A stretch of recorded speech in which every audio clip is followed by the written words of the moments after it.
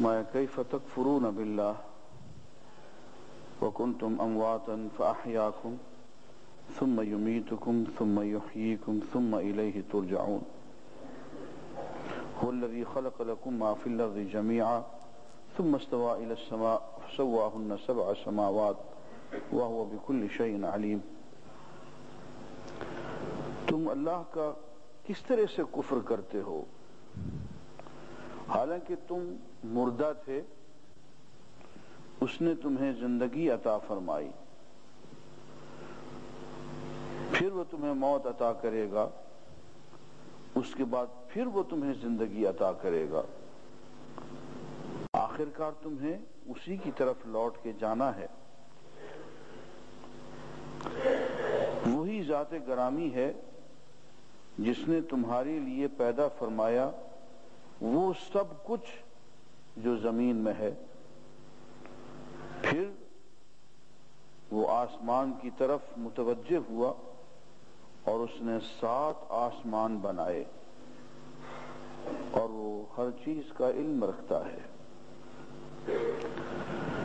عزیزان گرامی، قرآن مجید یہ سوال بار بار اٹھاتا ہے کہ تمہیں انکار ہی کرنا ہے، کفر ہی کرنا ہے اسی اللہ کا جس نے تمہیں پیدا کیا خد خلق تو کا ولم تک شیئا، اس نے تجھے پیدا کیا، تو تو کوئی شے ہی نہیں تھا، تیرا تو وجود ہی نہیں تھا، تجھے وجود بخشنے والا وہی اسی کا تو انکار کرے۔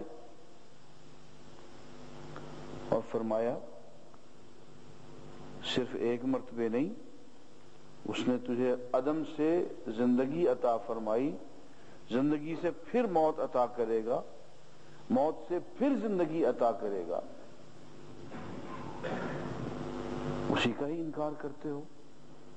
اور تم دیکھتے نہیں ہو کہ زمین میں جو کچھ بھی اس نے پیدا کیا ہے، وہ سب تمہارے لیے پیدا کیا ہے۔ زمین کی جمادات ہوں، نباتات ہوں، اس کے حیوانات ہوں، ہر چیز اس نے تمہارے استعمال کے لیے، تمہاری چاکری کے لیے پیدا کی ہے۔ ہر چیز کو تم کام میں لا رہے ہو۔ سورہ الجاسیہ میں یوں فرمایا، وَسَخَّرَ لَكُمْ مَا فِي السَّمَاوَاتِ وَمَا فِي الْأَرْضِ جَمِيعًا مِّنْهُ۔ آسمانوں میں جو کچھ ہے اور زمین میں جو کچھ ہے، اللہ تعالی نے سب کا سب تمہارے تابع فرمان بنا دیا ہے، تمہارے لیے مسخر کر دیا ہے۔ کائنات کا یہ تصور کہ اس کائنات میں انسان مخدوم ہے اور انسان کے علاوہ باقی ہر چیز خادم اور خدمت گزار۔ وہ بڑے بڑے سمندر ہوں، وہ بڑے بڑے سورج ہوں، سیارے ہوں، وہ پہاڑ ہوں، ہوائیں ہوں، ہر چیز انسان کی خدمت گزار۔ اور انسان ہر چیز کا مخدوم۔ عزیزان گرامی، یہ تصور ابھی تک بیسویں صدی کے سائنسدانوں اور فلسفیوں کے دماغوں میں پختہ نہیں ہوا۔ اس طرف آتے ہیں، پھر لوٹ جاتے ہیں۔ اس تصور کو بھی سائنسدان اور فلسفی بیان نہیں کر سکا کھل کے۔ قرآن اسے کھول کے بیان کر رہا ہے کہ اس کائنات کی ہر چیز کو ہم نے انسان کے لیے پیدا کیا ہے۔ خواہ وہ زمین میں ہے، خواہ وہ فضاؤں میں ہے، آسمانوں میں ہے۔ اور دیکھیے اس کا کتنا خوبصورت ثبوت ہے۔ آپ تھوڑی دیر کے لیے تصور کریں کہ دنیا کی کوئی چیز غائب ہو گئی، غیر موجود ہو گئی۔ آپ محسوس کریں گے کہ آپ کا نقصان ہو گیا۔ اس لیے کہ وہ چیز آپ کے کام آ رہی تھی۔ وہ جب غائب ہو گئی، غیر موجود ہو گئی، تو آپ کا نقصان ہو گیا۔ حرج ہو گیا آپ کا۔ اور اگر سورج نہ ہو، تو ہم چند لمحے سے زیادہ زندہ نہیں رہ سکتے۔ ہوا نہ ہو پانی نہ ہو، خوراک نہ ہو۔ معمولی چیز کا ذکر کر لیں، کوئی ریت کا ذرہ۔ تصور کریں تھوڑی دیر کے لیے، یہ ریگستان نہ ہو۔ مٹی کا ذرہ، مٹی نہ ہو، خوراک کہاں سے آئے گی؟ یہیں سے تو اگاتے ہیں۔ معمولی سے معمولی چیز کا آپ کسی تنکے کا آپ تصور کریں کہ وہ غیر موجود ہو گیا، تو پتہ چلے گا کہ ہمارا بہت نقصان ہو گیا۔ عزیزان گرامی تھوڑی دیر کے لیے یہ تصور کریں کہ خود انسان غیر موجود ہو گیا۔ اس صفحہ ہستی سے کوئی انسان بھی باقی نہ رہا سب مٹ گئے۔ تو دنیا کی کسی اور چیز کا کچھ نہیں بگڑے گا، سورج کا کچھ نہیں بگڑے گا۔ چاند کا، تاروں کا، سمندروں کا، پہاڑوں کا، ہواؤں کا کوئی نقصان نہیں ہوگا۔ اس لیے کہ انسان کسی چیز کے کام نہیں آ رہا۔ انسان ہر چیز سے کام لے رہا ہے۔ ہر چیز کو انسان کا خادم نوکر چاکر بنایا گیا ہے۔ ہر چیز کو انسان کے لیے تابع فرمان اور مسخر بنایا گیا ہے۔ یہ ہے وہ بات جو قرآن مجید بار بار کہتا ہے۔ والذی وہ ذات گرامی ہے، جس نے کہ خلق لکم، تمہارے لیے پیدا کیا۔ ما فی الارض زمین میں جو کچھ بھی جمیع سارے کا سارا۔ فرمایا، آسمانوں میں جو کچھ ہے، زمین میں جو کچھ ہے، ہم نے تمہارے لیے پیدا کیا ہے۔ ہاں تمہیں اپنے لیے پیدا کیا ہے۔ ہر چیز تمہارے لیے ہے اور تم ہمارے لیے ہو۔ تم اگر ان کے ہو کے رہ گئے تو یہی شرک ہے، یہی کفر ہے۔ تم اپنا قبلہ سیدھا رکھنا، تم اپنا رخ، اپنا کعبہ درست رکھنا، تم نہ خراب کرنا۔ ہر چیز کو ہم تمہاری خدمت پہ لگا دیں گے۔ اور اگر تم نے اپنا قبلہ خراب کر لیا تو ہر چیز کو ہم تمہارا دشمن بنا دیں گے، تمہارے کام نہیں آئے گی۔ آگے فرماتے ہیں،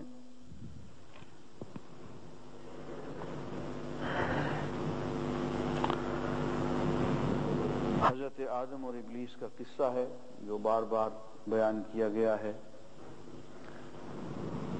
حضرت آدم کو اللہ تعالیٰ نے حکم عطا فرمایا کہ تم اور ہوا اس جنت میں رہو۔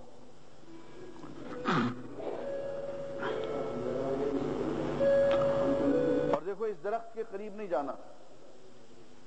وہ درخت کیا تھا، کیا نہیں تھا، اس سے ہمیں کوئی بحث نہیں۔ ایسے لوگ گندم کا درخت کہہ دیتے ہیں، کچھ ثابت نہیں ایک درخت تھا جنت میں، فرمایا اس کے قریب نہیں جانا۔ یعنی اس کے پھل نہیں کھانا۔ اس کے قریب بھی نہیں جانا۔ اب پتہ چلا کہ شیطان کے بہکاوے میں آ گئے۔ شیطان نے قسمیں کھا لی میں تمہارا خیر خواہ ہوں بھائی، میں تمہارا دوست ہوں۔ دیکھو، یہ درخت جو ہے، یہ شجرت الخلد ہے۔ اس درخت کو کھا لو گے تو تمہیں کبھی موت نہیں آئے گی، کبھی بڑھاپا نہیں آئے گا، کبھی تمہیں آپس میں جدائی نہیں آئے گی، کبھی تم جنت سے نکل نہیں سکو گے۔ یہ تو شجرت الخلد ہے، جس سے تمہیں روک دیا ہے انہوں نے۔ میری مانو، کھا کے دیکھو۔ اور چکھنے میں کیا حالت ہے یار؟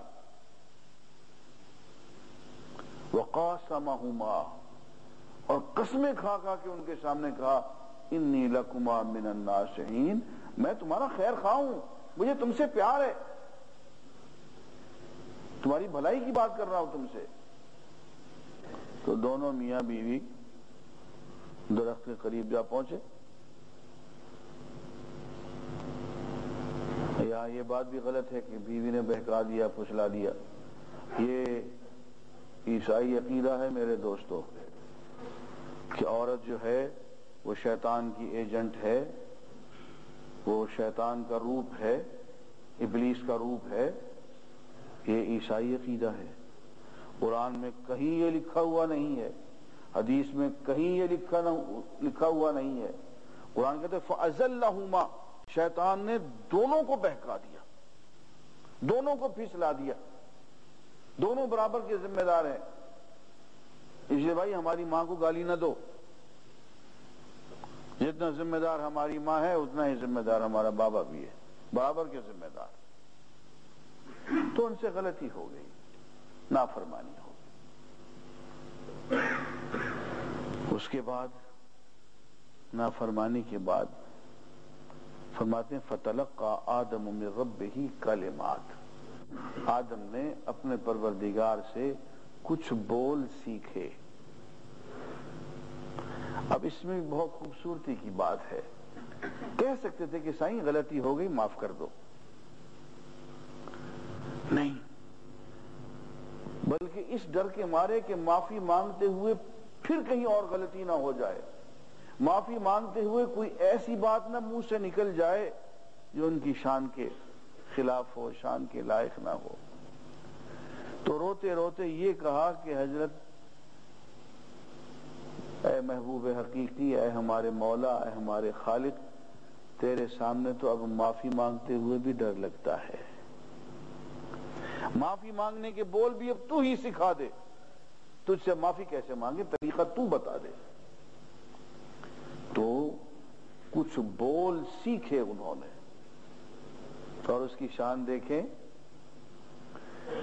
جب معاف کرنے پہ آتا ہے تو معافی مانگنا سکھا دیتا ہے۔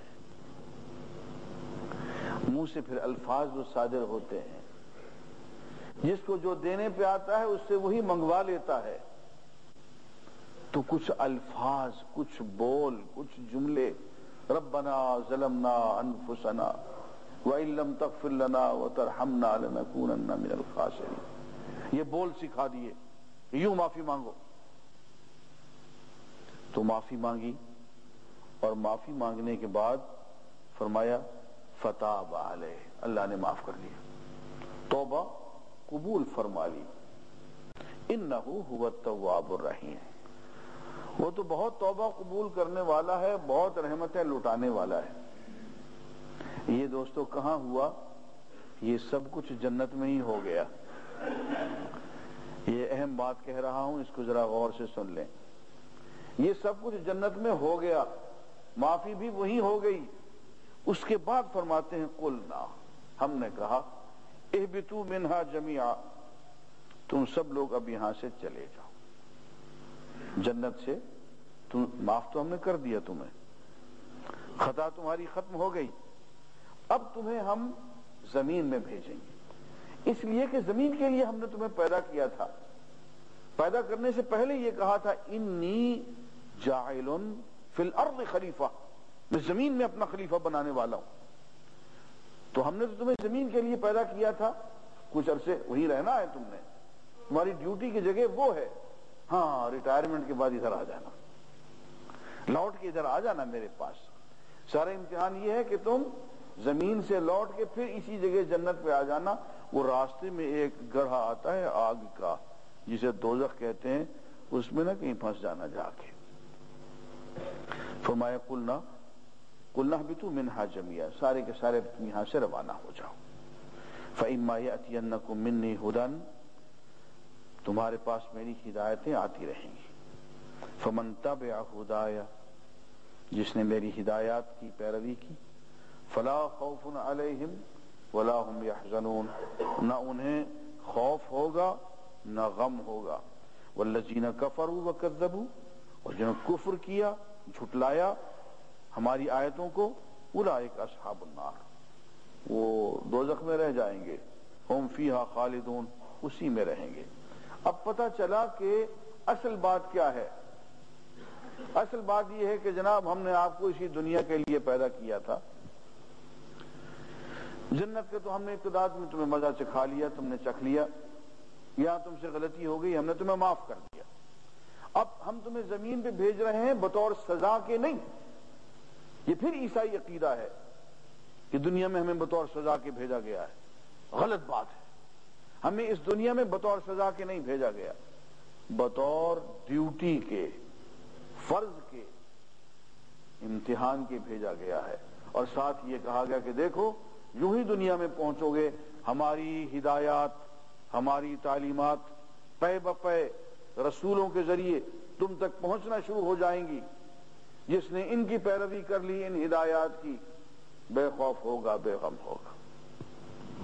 معلوم ہوا کہ اس دنیا میں بھیجنے کے بعد انسان کا سب سے بڑا فرض ان ہدایات کو سمجھنا اور فالو کرنا تھا، ان پہ عمل کرنا تھا۔ جو اس میں رہ گیا، وہ رہ گیا۔ آخر دعوان